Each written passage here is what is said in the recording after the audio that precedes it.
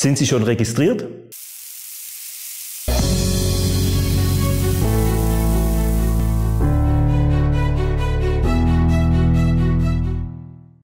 Herzlich willkommen, liebe Zuschauerinnen und Zuschauer, hier in unserem Format vom Wissenschaftsgremium. Ein Mitglied, das gerade hier ist, hat mir gerade so zwischen zwei Sendungen ein paar Zahlen um die Ohren gehauen, wo ich äh, gesagt habe, das ist ja unfassbar. Darüber müssen wir eigentlich auch eine Sendung machen. Er ist Diabetologe, kennt sich darin äh, unfassbar gut aus, hat über 400 klinischen Studien mitgewirkt. Er ist Arzt und er ist auch Chemiker und ähm, kennt Ansätze und Zusammenhänge von Diabetes, da wurde es mir jetzt ganz schwindlig, weil ich so vieles Neues gelernt habe. Diese Sendung wird uns sicherlich auch ein bisschen die Augen öffnen und deshalb bitte ich Sie, bleiben Sie dran. Nach dem Intro legen wir los.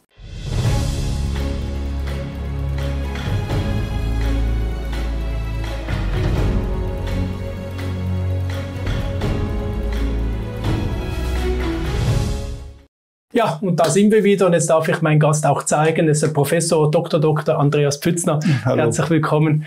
Ja, nehmen wir eins, zwei, drei Zahlen mal da, was du mir gerade gesagt hast. Ja, Die eine ist Durchschnittlich mit 52 entwickelt ein Mensch äh, Diabetes. Ja, das ist jetzt nicht so richtig. Man kann Diabetes, speziell den Typ-2-Diabetes, eigentlich während seines ganzen Lebens entwickeln. Ja, ja, klar. Aber so der, die klassische Karriere ist eigentlich, dass die Patienten dann so im späteren Lebensalter, deswegen hieß er früher ja auch mal Altersdiabetes, ja, ja. auch wenn das gar nicht stimmt. Ja, also man kann ihn zu jedem, man kann ihn auch als Säugling schon bekommen, was mhm. zwar selten ist, aber es passiert, ja. Äh, aber so Mitte 50, wenn man dann so ein bisschen gesetzt ist, wenn man so die, wie man so schön sagt, die Peak Bone Mass über sich gebracht hat, also eigentlich jetzt schon sich in einem Lebensalter Zeitalter bewegt, das von der Natur für uns Menschen gar nicht so original vorgesehen war. Ja, ähm, wie wir früher uns gesund ernährt haben und gejagt haben, sind wir in der Steinzeit 30 geworden ungefähr. Ja, jetzt sind wir da so mit 50 im, im gesättigten Berufsleben. Ja, man fängt dann so an, auch schon so den Bierbauch sich anzulegen. Man macht weniger Sport etc. etc. Deswegen ist das eigentlich so ein typisches Manifestationsalter so zu Beginn der, des 50., 55. Lebensjahrs, auch wenn es äh, später sein kann. Also ich habe selber mhm. zum Beispiel auch Typ 2 Diabetes. Bei mir ist er jetzt mit 63 Jahren zum ersten Mal mhm. äh, aufgetreten. Aber ja? lassen wir die Zahlen mal so stehen. Durchschnittlich 52. Stehen. Ja, genau. Die andere Zahl ist, dass man um circa durchschnittlich 14 Jahre nach so einer ja. Diabetes-Diagnose äh, so langsam dem Lebensende. Ja, zukommt. also vielleicht, vielleicht sollte ich das präzisieren. Nach der aktuellen Statistik sieht es so aus, dass man, man beginnt ja dann die Therapie nach den klassischen Therapieverfahren mit erstmal Lebens Lebensstilveränderungen, dann kommt Metformin dazu.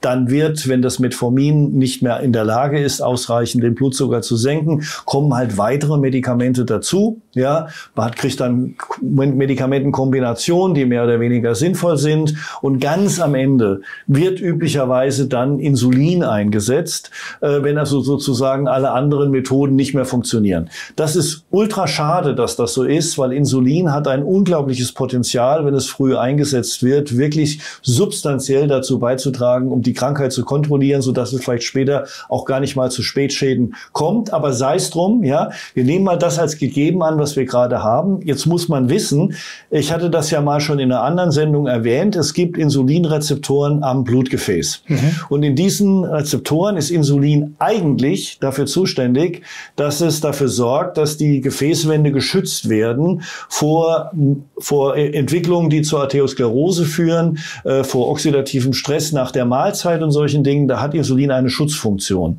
Nur leider, wenn man es so spät einsetzt, wie es halt nach unseren Leitlinien eingesetzt wird, wenn die Patienten schon Insulinresistenz haben, äh, eben auch am Gefäß, dann haben wir die katastrophale Situation, dass durch das Insulin über den gleichen Rezeptor, der normalerweise schützend wirken soll, wirkt Insulin das genaue Gegenteil. Es ist nämlich atherogen, es sorgt dafür, dass die Entzündung vorangetragen wird. Also um es mal zusammenzufassen, Insulin ist ein ambivalentes Hormon. Wenn man es rechtzeitig einsetzt, mit der richtigen Kinetik, mit der richtigen Gabe, dann schützt es. Wenn man es falsch einsetzt, viel zu spät, im Rahmen der Insulinresistenz, mit auch noch mit viel zu hohen Dosen, dann ist es tatsächlich atherogen. Mhm. Ich habe mich früher gegen diese Weisheit gewehrt, weil ich dachte, das kann doch gar nicht sein. Aber ich habe mittlerweile gelernt durch die ganzen Studien, doch, dem ist so. Insulin ist ambivalent. Es kann positiv, es kann aber auch negativ sein. So, Wenn wir davon ausgehen, dass wir im Schnitt oder im Mittel nach circa zwölf Jahren Diabeteskarriere äh, bei unseren Patienten die Notwendigkeit der Insulintherapie sehen, kann man sich auch gut vorstellen, dass dann eben auch nach 14, 15 Jahren eigentlich äh, ja der plötzliche Herztod naht äh, und es auch geschieht in der Regel dann leider. Die Mehrheit, die überwiegende Mehrheit unserer Typ-2-Patienten verstirbt ja an einem Herzinfarkt oder einem Schlaganfall oder einem anderen makrovaskulären Ereignis. Aber jetzt haben wir auch verstanden, warum. Ja. Weil das war ja bisher gar nicht so richtig auf dem ja, Schirm, ja, oder? Ja, also man kann versuchen, das Insulin dazu zu bringen, eventuell doch wieder positiv zu wirken durch andere therapeutische Maßnahmen, zum Beispiel durch Kombination mit einem Insulinsensitizer, damit damit es einfach diese andere Wirkung hat. Aber wir haben selber Studien gemacht, wo wir gemessen haben, was passiert denn, wenn wir Insulin so spät geben? Und ist das, was da rauskommt oder was jetzt das Insulin bewirkt, ist das noch eine Schutzwirkung oder eben eine schädigende Wirkung? Und das Ergebnis war leider, nein, es ist eine schädigende Wirkung. Und äh, das testen aber viele gar nicht mehr, oder? Nein, das wird nicht getestet, weil und wir, wir haben ja die Situation, dass Diabetes landläufig nur über den Blutzucker definiert wird. Mhm nur über den Blutzucker auch behandelt wird und dass man ja glaubt, wenn man den HbA1c-Wert, diesen Langzeitblutzuckerwert, wenn man den nur in den Normbereich bringt, dann ist alles in hm. Ordnung. Also und wenn ich jetzt ganz, ganz bös ja. sage, kann ja eigentlich, kann ich sagen, dass mein Insulin, was ich verordnet kriege, mich auch umbringen kann. Rein theoretisch kann man das so sehen. Und vielleicht ja, in zwölf Jahren, weil ja, ich allergisch, also allergisch entzündlich reagiere in meinen Arterien. Die Makrophagen das, äh, das äh, äh, Cholesterin dorthin tragen als Reparatur. Es wird immer enger und mein Herz kriegt einen Schlaganfall oder Das kann oder? theoretisch irgendwann passieren. Was wir ja zum Beispiel auch wissen, ist, dass die Zeit des Anflutens des Insulins spielt eine große Rolle bezüglich seiner Auswirkungen auf die Gefäße, weswegen man ja zurzeit nach immer schnelleren Insulin sucht. Man hat ja diese schnellen, kurzwirkenden Analoginsuline unter anderem auch deswegen entwickelt, weil eben diese schnellen Konzentrationsveränderungen, ähnlich wie bei der Pulsatilität der Bauchspeicheldrüse, schon dafür sorgen, dass die Insulinrezeptoren in der Peripherie ein bisschen sensibler gehalten werden können. Das macht sogar schon das schnelle Anfluten bei einem kurzwirksamen Analoginsulin aus. Und ich glaube, hier gibt es zahlreiche Mechanismen, die auch ultra komplex sind, um sie zu verstehen. Mhm. Aber es ist einfach eine Tatsache, wenn ich die Therapie über diesen Eskalationsweg fahre, irgendwann beim Insulin gelandet bin, dann habe ich einfach ein großes Risiko, dass ich eben die nächsten Jahre nicht mehr überleben werde. Und wichtig ist, glaube ich, auch, dass wir, dass wir verstehen müssen, dass Diabetes eben doch ein ganz individuelles Krankheitsbild ist, was man aus meiner Sicht unklugerweise nicht mit einer Therapie von der Stange behandeln sollte. Aber das wird einfach die Zukunft zeigen. Das ja? heißt, Diabetes ab der Stange ist falsch, sondern es ist immer ein individueller ja. Behandlungsplan für jeden Menschen mit der mit Diabetes leben sollte. Das wäre zumindest mein Vorschlag und so praktizieren wir das auch bei uns in der Praxis, mhm. dass wir jeden phänotypisieren, also wir gucken, was für ein Diabetestyp liegt denn hier überhaupt eigentlich vor und was wäre denn bezogen auf diesen Diabetestyp mhm. eigentlich die optimalste Therapie. Und ich glaube, das kann man leisten, das ist machbar, es erfordert ein bisschen mehr als das, was wir ohnehin schon machen, äh, nämlich die Bestimmung von noch ein paar mehr Biomarkern, damit man diese Phänotypisierung durchführen kann. Und ich glaube, dass man dann eine viel höhere Lebenserwartung erreichen kann und vor allem auch ein Altern, das weniger von Spätschäden gezeichnet ist. Also ja? keine Vegetation, ja, Vegetieren genau. ins Alter hinein, sondern ein ja, mit Komfort. Jetzt, eine, eine, eine gewisse Würde kann man dadurch erhalten. Ja. Meine, deine Ergebnisse in deiner Praxis sind ja beeindruckend, deine Forschungsergebnisse ebenso. Und du hast ja dieses Thema ja schon in Diskussionen eingebracht bei. Krankenkassen und bei Politikern. Was ist denn so ein bisschen das Echo da? Naja, das Echo ist, ist, dass die das eigentlich verstehen und auch für ziemlich gut halten, dass man sowas machen kann. Gleichzeitig haben die natürlich und müssen ja natürlich auch die ganzen sozialmedizinischen und auch durchaus finanziellen Aspekte im, im, im Hintergrund behalten. Und ich meine, machen wir uns nichts vor, ja. Wenn ein Patient Mitte 50 äh, seinen Diabetes entwickelt und dann vielleicht 12 bis 14 Jahre äh, damit dann lebt und dann an einem plötzlichen Herztod verstirbt, dann hat er ja eigentlich für die Rentenversicherungskasse ein ziemlich positives Ergebnis produziert. Er hat nämlich bis zu seinem 65. oder 67. Lebensjahr in die Rentenkasse eingezahlt und hat aber dann kaum noch Renten bezogen. Und ich sag mal, ich will jetzt nicht sagen, dass das wäre auch Fall über das Willen, ja, äh, dass das ein Grund ist, warum man solche Ideen nicht aufgreift und mhm. sofort umsetzt. Aber selbstverständlich muss man auch diese Aspekte berücksichtigen. Ich habe meine Therapien ja auch den Patienten vorgestellt in unserem Land. Also in Deutschland gibt es ja Patienten-Selbsthilfegruppen. Ich habe gezeigt, was wir machen, welche Ergebnisse wir haben.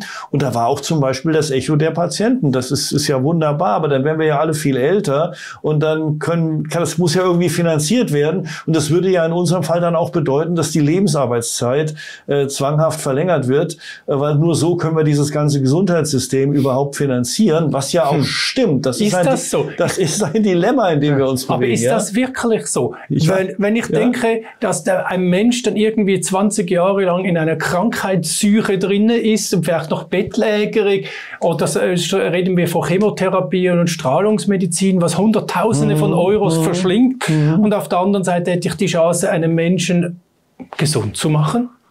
Das ist vielleicht übertrieben, aber ich kann zumindest substanziell ja, das, sein. Was ist jetzt ja. bitte, was, was rettet das Gesundheitswesen jetzt bitte? Das ist ein ethisches Dilemma, in dem wir uns da befinden. Ich kann nur sagen, dass auf den Einzelfall bezogen, das ist ja auch meine Erfahrung in meiner Praxis, ist das kein Thema. Ja, jeder, der zu mir kommt, der möchte das haben und der kriegt das auch. Mhm. Ja, wir reden ja jetzt hier von einer flächendeckenden ja, das wäre ja mein Ziel ja, auch, ja. Wo man jetzt tatsächlich eigentlich in eine Diskussion mit der Politik wieder eintreten müsste, nachdem wir ja, ich meine, ich habe das schon vor 15, 16 Jahren, habe ich dieses Konzept schon einigen unserer Gesundheitsminister damals vorgestellt. Damals war man noch sehr zögerlich, ja, mittlerweile, es gibt ja auch keine Studien dazu, die krassen, äh, die, die, die Pharmaindustrie hat ja kein Interesse an den Arbeiten, die wir machen, da wir ja eigentlich nur etablierte und eigentlich auch preiswerte Medikamente einsetzen für diese Therapien, ähm, dass eben doch jetzt vielleicht mal nach weiteren 15 Jahren haben wir ja auch entsprechende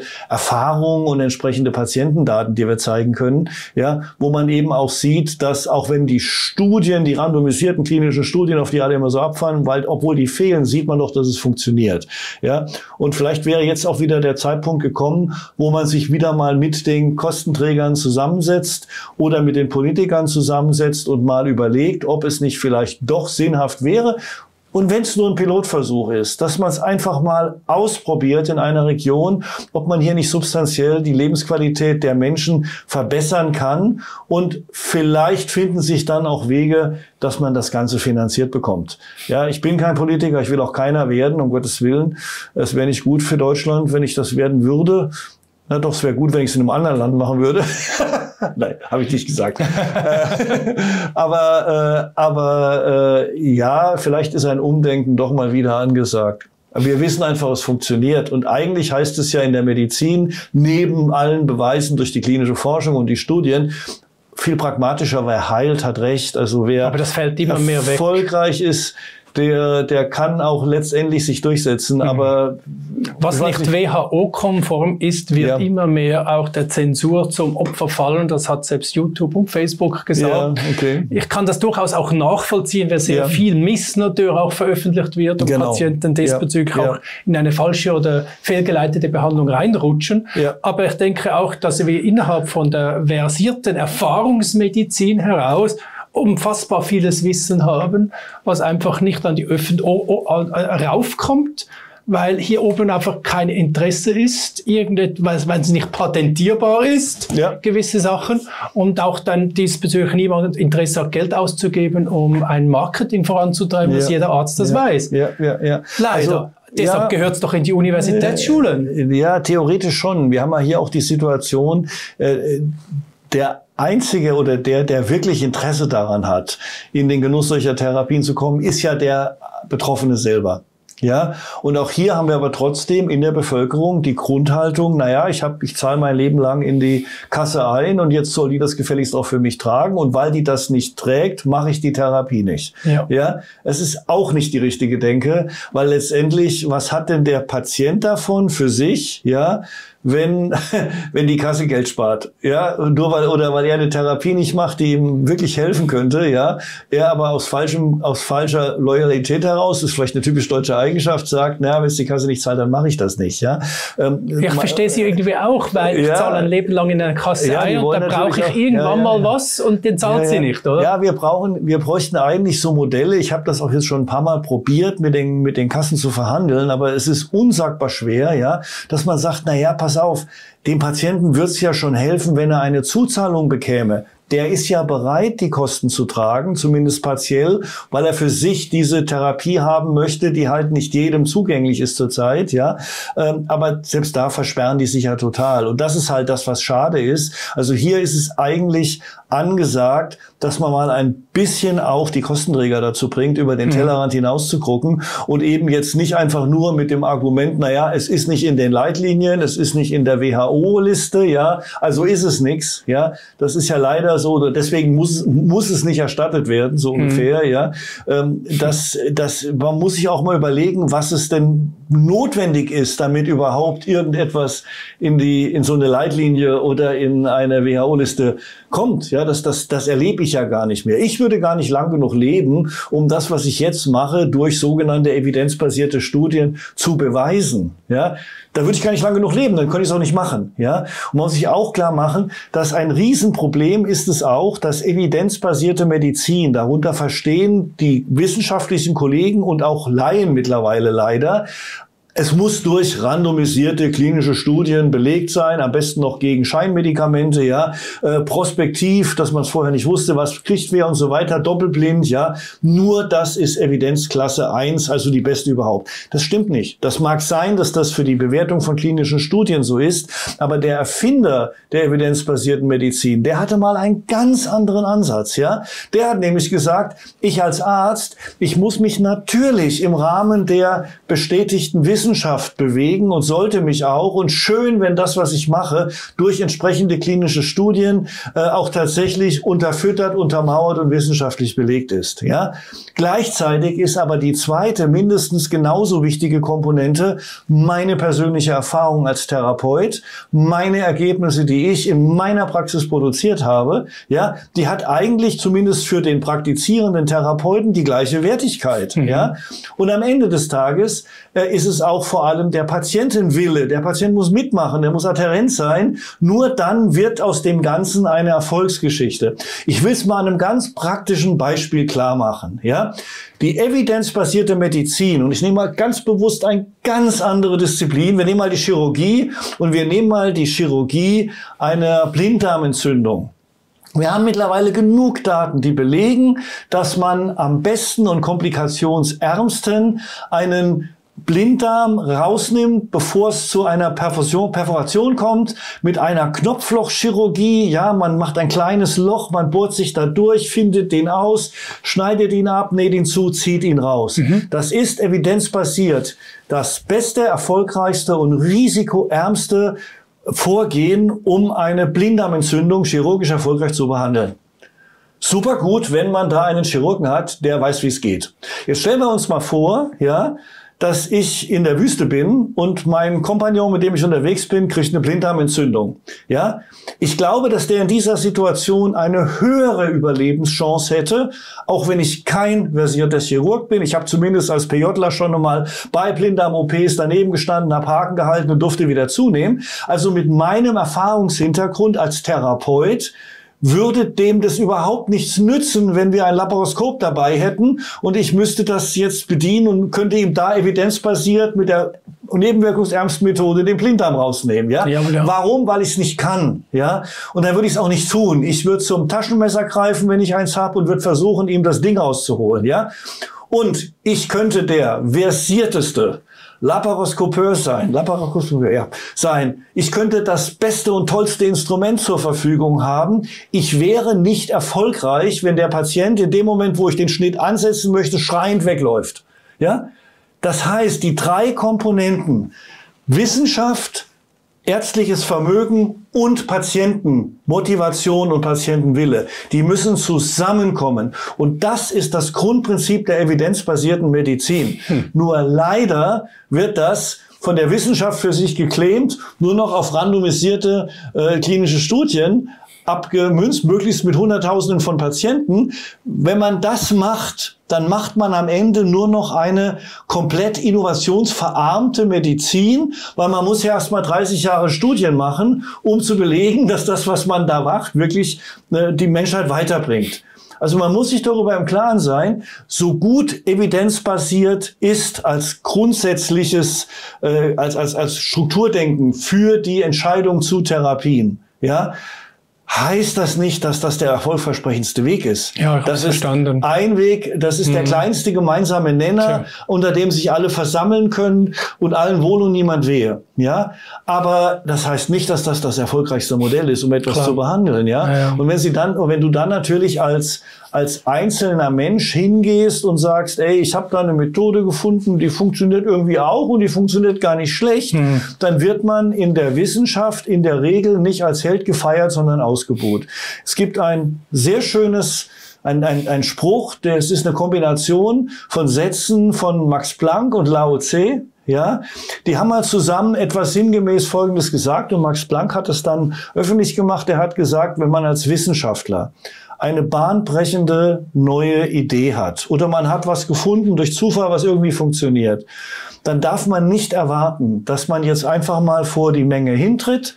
Ja, man gibt seine Weisheiten preis, man erklärt alles, man gibt es mal als Denkanstoß in die Runde. Da darf man nicht erwarten, dass die Menge der Zuhörer, die Audienz, die ja aus ihrem Denkstil-Hintergrund kommt, den sie hat, dass die jetzt plötzlich erleuchtet durch die Weisheit dieses spektakulären Vortragsauftrittes, ja, sich äh, hingerissen fühlt, das versteht und sagt, boah, ja, das ist es, das setzen wir jetzt bravo, um. Bravo, bravo, das wird genau. niemals passieren, sondern in der Wissenschaft und speziell in der Medizin ist es einfach so, dass man seine Ideen, seine Vorstellungen, seine Ergebnisse immer und immer wieder vortragen muss, so dass immer mehr Menschen zu ihnen sozusagen sie kennen, ja. Und dann muss man warten, bis die Opponenten, die man so hat, bis die so langsam aussterben, ja. Und wenn dann eine neue Generation zum Beispiel von Ärzten heranwächst, die das, was man selber gemacht hat oder was man selber macht, erfolgreich, jetzt schon kennen und teilweise auch selber anwenden,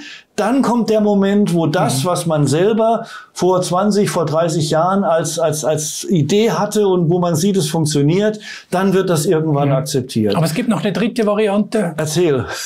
und das ist einfach, dass eine Eminenz entscheidet, dass es so ist, alternativlos. Ja, ja. Da braucht es keine Doppelblindstudie, nichts randomisiertes, ja, nicht doppelblind. Ja. Wir brauchen nicht mal Nebenwirkungsbeschreibungen. Ja. Und alles kommt, weil die Eminenz hat entschieden. Ja. Und das wird von der ja, übernommen, gut. ohne das irgendwelches ist, Das ist eminenzbasierte Medizin. Das Problem ist nur, wir haben keine Eminenzen mehr in der Diabetologie. Das war früher mal so. Wir hatten früher mal so ein paar Halbgötter in Weiß. Das waren die C4-Professoren in der Diabetologie damals noch. Da gab es drei oder vier Stück zu meiner Zeit, wie ich Assistenzarzt war. Die haben vorgegeben, wie es läuft. Ja, ob das ein Herr Berger in Düsseldorf war, ein Herr Mehnert in München war, ja, äh, ein, äh, ja, die haben einfach vorgegeben, was passiert. Und das waren so die hm. Meinungsbildner, die auch generell das alles bestimmt haben. Aber in Diabetes müsstest du ja eigentlich du das sein, oder? Nein, um Gottes Willen, nein, nein, nein, nein, nein.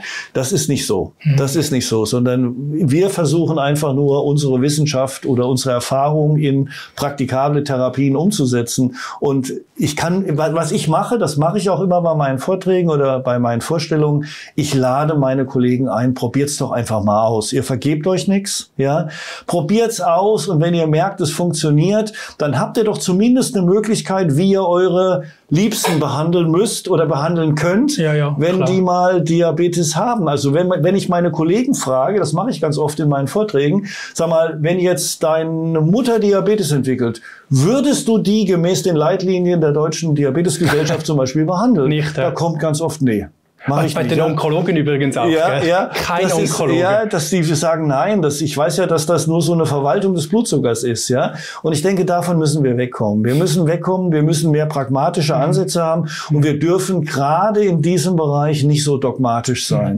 Mhm. Ich sage ja auch nicht, dass mein Weg der einzig seligmachende ist. Mhm. Er ist halt nur. Aber dein Weg führt ja? dazu, dass der Patient die Chance hat, keine Spätfolgenerkrankungen zu haben oder sogar wegzukommen. Er hat die Chancen, ob es tatsächlich passiert, passiert, kann ich ja gar nicht beweisen, weil ich lebe ja gar nicht lang genug ja, um das dann äh, entsprechend dokumentiert festzuhalten. Das muss dann meine Nachfolger machen, ja, mhm. dass die dann schauen, ja, wie geht's denn den Patienten, die der Pützner da behandelt hat? Wie viele von, wie viele von denen haben denn wir Spätschäden entwickelt? Und wie ist es bei einem, ich sag mal, Hans Müller der Fall, ja, der das nicht gemacht hat? Wie sieht's bei dem aus? Das, das, werde ich nicht erleben. Das mhm. werden wir alle nicht erleben. Das ist aber auch nicht schlimm, ja. Ich meine, es kommt noch ein anderer Faktor dazu und ich glaube, das ist auch das beste Schlusswort.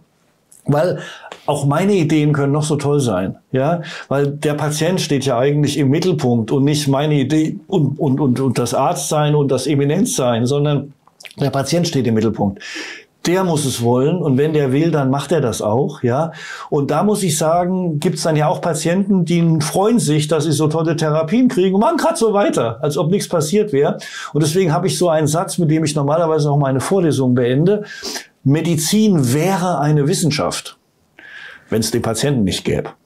Weil die ja doch am Ende des Tages das machen, was sie wollen. Und weißt du was, das ist ja auch richtig so. Ja, weil der Arztberuf fokussiert sich ja nicht um den Arzt, sondern er sollte sich um den Patienten fokussieren. Und das, da haben manche meiner Kollegen leider Schwierigkeiten. Das habe ich aufgeschrieben als Zitat. Du hast gesagt, das wäre der Schlusssatz. Ich fand den auch gut. Man sollte jetzt auch enden, weil alles, ja. was ich jetzt noch auslasse, ist ein bisschen böse. Aber ja. ähm, ich habe gerade wieder gelesen, jetzt hat's ja, jetzt gibt's ja einen Impfstoff gegen Krebs. Mhm. Ja. Ähm, alles Von ohne Doppelblind, nichts randomisiert, keine Studien. Die Eminenz hat ja. entschieden, dass ja. es so ist. Es ist alles ja. zugelassen in dem Bereich. Wie sieht's bei Diabetes aus? Gibt es schon einen Impfstoff gegen Diabetes? Also es gibt Entwicklungen, dass man diesen Autoimmundiabetes versucht, durch Antikörpertherapien zum Beispiel zu verhindern. Also vor allem ihn auch effizient zu behandeln, dass möglichst viel Beta-Zellmasse erhalten bleibt. Die Studien gibt es schon. Wir sind so weit, dass wir eine erste zugelassene Therapie haben. In dem Fall, ja, in Amerika ist sie zugelassen, bei uns noch nicht. Ähm, wir arbeiten natürlich an, äh, an, an, an Beta-Zelltransplantationsansätzen, dass man halt wenn der Mensch selber die Zellen nicht mehr hat, dass man ihm welche zuführt. Entweder alles vernünftig, alles, oder? Alles, alles, läuft alles, ja, ist alles am, dauert aber, es läuft aber schon länger. Also das sind leider Sachen, die Zeit brauchen. Wo wir mittlerweile ziemlich viel Fortschritt machen, ist tatsächlich beim Einsatz künstlicher Intelligenz, im, auch im Rahmen der Diabetologie und hier speziell bei der Entwicklung von technologischen äh, Ansätzen, ja, Technologieansätzen. Die Diabetestechnologie ist in den letzten Jahren unglaublich angewachsen, ja, angespornt durch Entwicklung von Nanotechnologien, künstlicher Intelligenz und so weiter. Und ich glaube, da können speziell die Typ-1-Patienten in einer mittelfristigen Zukunft einiges an neuen Lösungsvorschlägen erwarten, mhm. ja, äh, die eben über den Nadelsensor und die Insulinpumpe hinausgehen. Äh, Stichwort künstliches Pankreas, ja, irgendwann mal implantierbare Organe, die das alles selber regeln. Ich glaube, das ist nicht mehr in einer fernen Zukunft. Mhm. Das das können wir sicherlich mittelfristig schon erwarten und das ist ja auch nur ein Lösungsansatz. Hört sich ja alles super an, ja. aber es ist ja. immer noch letztendlich äh, eine Reparaturmedizin. Ja. Und noch nicht eine ursachenbezogene Medizin. Oder? Ja, dafür verstehen wir immer noch zu wenig zu dieser häufigsten Krankheit, die wir neben der Depression weltweit haben. Mhm. Danke ganz herzlich. Ja, sehr gerne. Professor Dr. Dr. Andreas Pützner war das für Sie, liebe Zuschauerinnen und Zuschauer. Und wenn Sie mehr wissen möchten, mehr erfahren müssen, mehr Know-how haben müssen, wissen wollen in Bezug auf Diabetes, dann gehen Sie doch einfach bitte mal auf die Plattform, wo der Herr Pützner aufgebaut hat, wo ganz vieles darüber auch informiert ist, welche Möglichkeiten das bestehen, hier einen ganz anderen Ansatz zu machen, als nur den Blutzucker anzuschauen. Denn letztendlich äh, ist einfach dieser eine Weg, der uns so häufig geschildert wird, letztendlich auch dafür verantwortlich, dass ganz viele Folgeerkrankungen letztendlich sich auslösen können. Und das kann man behandeln frühzeitig oder eben schauen, dass es gar nicht so weit kommt. Zumindest in vielen, vielen Fällen ist das äh, gut gelungen. Und das äh, ist einfach der Ansatz, den wir Ihnen heute noch in dieser Sendung gerne vermitteln wollten. Informieren Sie sich und seien Sie nicht einfach zufrieden damit, Ernährung umzustellen und nur den Blutzucker zu regeln. Danke ganz herzlich fürs Zusehen, alles Gute, bis ein anderes Mal und auf Wiedersehen miteinander.